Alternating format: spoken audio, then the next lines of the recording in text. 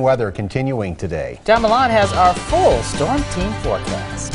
And it will continue for tomorrow also because tomorrow we're watching a storm system that's going to change our weather over the weekend, bringing colder weather in by the early part of next week. But for tomorrow, only a sprinkle if you're going to the northern part of the state. Looks like another beautiful day for us tomorrow. Could even be a carbon copy of today's high, which is the warmest day so far of the year. Yesterday, low 60s. Today, 65 degrees. Average should be around 52. No precipitation. Our morning low, a mild 52. But we're not going to see the 80s. Sioux Falls, 81, 82 in Omaha, 82 in Wichita, 70s.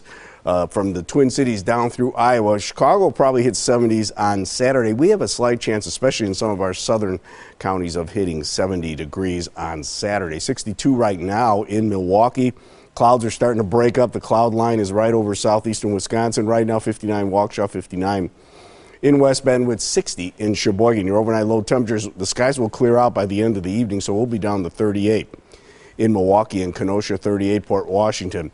Here is your uh, Viper radar depiction, and what we're looking at right now are showers that have passed through earlier today well to our south. No showers expected for the remainder of the evening, even though some of you have clouds over the top of you right now. Here's what we're looking at our future forecast models. A weak wind shift line goes through overnight tonight. Call it a cold front. Mild air continues, southerly winds again. Here comes the next storm system out of the west, and that will start to bring in uh, temperatures even warmer. It could even be mid 60s to up around 70 by Saturday, and again, a chance for showers and maybe a few thunderstorms right on into the weekend.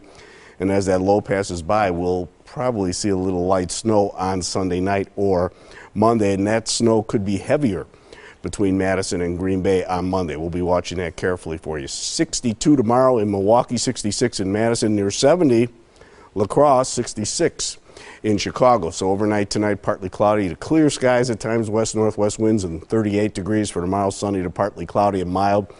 62 in our western communities, you might see 65 degrees southerly winds. And for tomorrow night, partly cloudy, south winds in 44. Saturday, a chance of a shower or a thunderstorm, south winds and a high of 65. Some folks will be near 70 degrees. Here's your Storm Team 4 10 day outlook.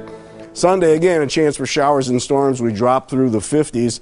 And then there's next week 43, the high temperature on Monday, with a chance of some snow mixed with rain 42 on Tuesday 44 on Wednesday I know it's back back to the 40s but then we're back in the 50s it's for brief. the end of next week it is brief it's yeah. a three day cool down but I think we're about really sick of the cold air aren't we I am yeah. You're sick of something right Especially now. Especially snow. Yeah, I'm, I'm, getting over it. okay. It's spring allergies You're are slapping better. me. You're okay. a trooper, John. Thanks. Thanks. John.